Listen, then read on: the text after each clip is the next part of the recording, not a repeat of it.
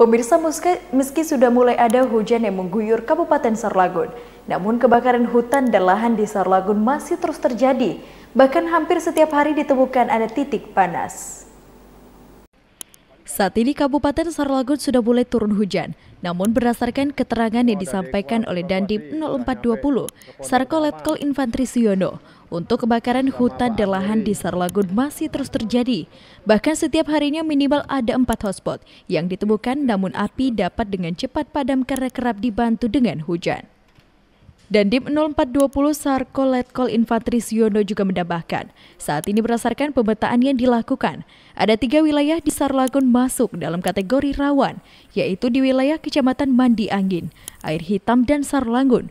Dan Dim juga menyampaikan jika dilihat dari kasus karutlah yang terjadi saat ini, rata-rata merupakan unsur kesengajaan dari oknum-oknum yang tidak bertanggung jawab. Saat ini walaupun ada hujan, tapi kemarau masih terus berlangsung dan ternyata kebiasaan masyarakat kelelahan dengan bakar itu masih ada. Dan kita temukan hampir tiap hari minimal empat titik itu ada hotspot. Banyak sekali. Banyak ya? Banyak sekali. Tiap hari itu minimal empat.